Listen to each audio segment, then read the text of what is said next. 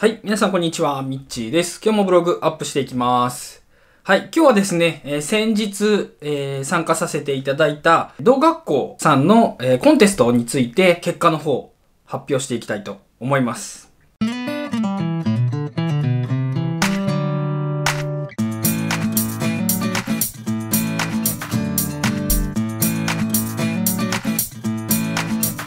先日9月の7日にですね動画校の那須さんの方のね動画の方でコンテストのね結果発表というか中間結果報告っていうのがね発表されたんですけどもそこで、えー上位5名が発表されました。で僕の方もね今回参加してるんですけど果たしてそのね上位5名に入れたのかということで今日はねその結果をお伝えしていきたいと思います。でですねえー今回は、まあ、前にもね説明はさせていただいたんですけどもえスマホのみで撮った映像で、え動画を作るというねコンテストになってるんですけども、まあ、全作品え8月31日までに提出された作品っていうのが全部で25作品あったということでその中からね5組選ばれたわけなんですけどもまあ結果から申しますと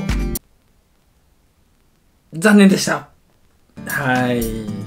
まあね。自信があったかといえばそうではないんですけどもやっぱりねみんなレベルが高いですね。比較的僕は結構前半戦の方に7作品目か8作品目ぐらいに、はい、出させていただきました。でその後にね結構もう結構ギリギリぐらいの時にえドドドドッとねこう作品が出てきたんですけどもやっぱりこういったコンテストっていうのはね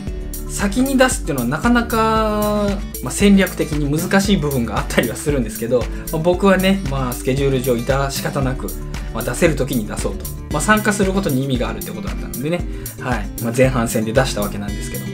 ま、残念ながら僕の出したね「えーネイチャーライフ」というタイトルの動画っていうのは、ま、落選となりました。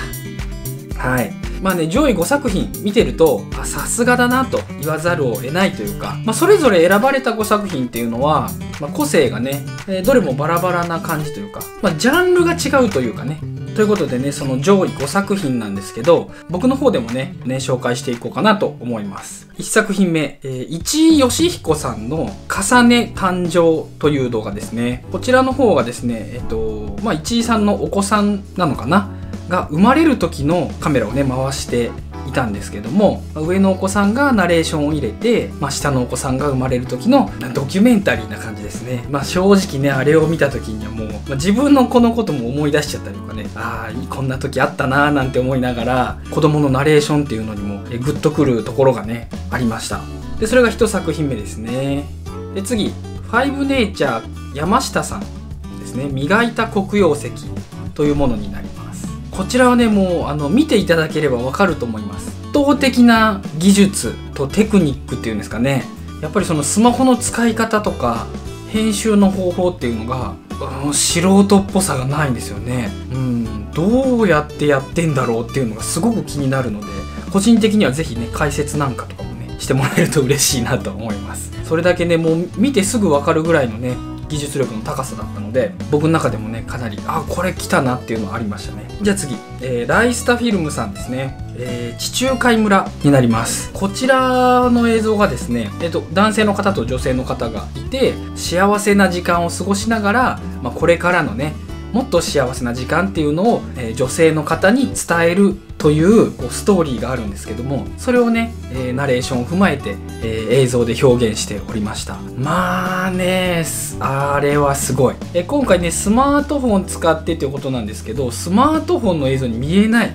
まあ、ジンバルを使って見えたのかな、まあ、こんな感じで撮りましたっていう動画もね一緒になっていたんですけどもそれ見せてもらうとねやっぱりこだわった撮影方法というか人がいなくなったらパッとねこう撮りに行くとかね。うん、そんなようなやり取りとかもあってねああなるほどなと、まあ、やっぱこう人を使ったり、えーロケーションの場所を把握してうまくね、えー映像に落とし込もうっていうのを考えるとやっぱりああいったね、えー本格的な撮影方法になるんだなと。すごく参考になりました。僕はもうね、え気づいた時にパッと撮る。みたいなそんなような感じなのでそういった撮り方っていうのをこれからもちょっと勉強していきたいですね。はい。じゃあ次、えーマーシーさん。子供の頃憧れたアーケードゲーム。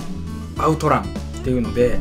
これ正直ね僕見た時に何て言うんですかね昔のこのレトロ感みたいなそれを、ま、再現しようという過程をスマホで撮影してたんですけどこうゲームのね画面の中にいるみたいにここになんか数字が入ってたりとか速度が出てたりとかなんなら助手席のこっち側にね金髪の女性のカツラをこうかぶせてオープンカーでこう走るみたいなそういうのもあってこういう使い方もあるんだなっていうのがものすごく参考になりましたね。そのゲームをね再現させるっていうのも一つ面白いなと思って別のゲームとかでもちょっと見てみたいなっていう気持ちが生まれましたね。はい、そちらが、えー、4作品目ですかね。はい、で最後 iPhone アンパサンドさん「竜を取る」っていうタイトルですね。これもねすごかったです。まあストーリーは若干ちょっとこう心にグッとくるようなちょ亡くなった、ね、友人を思う気持ちをナレーションに入れて映像に落とし込んでいたんですけども圧倒的なロケーションの力とアングルうんこれはねかっこいいなって思いましたね、まあ、正直ああいうところに撮るぞって思わないといけないと思うんですよね。僕みたいになんかこう気づいた時にパッっていうのは日常の中で撮れるものってやっぱ限りがあってそういったねロケーションの力っていうのを把握してないとああいう場所にはなかなか行けないと思うのでそういう点も踏まえてね、まあ、やっぱり技術がかなり高い方なんだなっていうのを感じました。是非一度ね皆さんも見ていただきたいと思います。はい、えー、この5作品が上位になりました。で今回なんですけどこれまだね結果報告ではなくて、えー、中間結果なんですよね。なので最終選考は投票ということなんで、えー、那須さんのね、えー、動画の方見ていただくと、まあ、こんな感じで、えー、投票してくださいねっていうのが、え載ってるので載ってるというか、まあ、動画でもね、え説明がされてるのでぜひ皆さん一度那須さんの動画の方もね見ていただいてで那須さんの動画の方にも、え今回の上位5作品のリンクが貼ってあります。僕の方の概要欄にも5作品載せておくのでよろしければね、えクリックして見てください。でいいなと思ったものにね是非コメントを残したりとか投票っていう形でね、え、やっていただければなと思います。はい。ということで今日は、えー、同学校コンテスト、結果の方は残念ではありますが、落ちてしまいました。という報告でした。まあけどね、今回スマホを使って、こういう風に初めてのコンテストっていうのをね、させてもらって、とっても勉強になりましたし、映像のね、見せ方とか、ストーリーの見せ方みたいなのを、まあ、いろんな方の動画を見ながらすごく勉強になったので、まあ、これからのね映像作りに活かしていきたいなと思います僕もまだまだ始めたばかり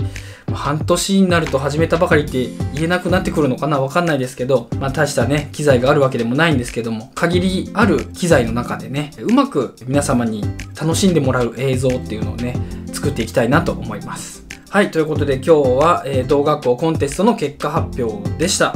また会ったら頑張ります。那須さんよろしくお願いします。はい、ということでこの動画が良かったらグッドボタン、チャンネル登録もよろしくお願いします。ではでは、みっちでした。バイバイ。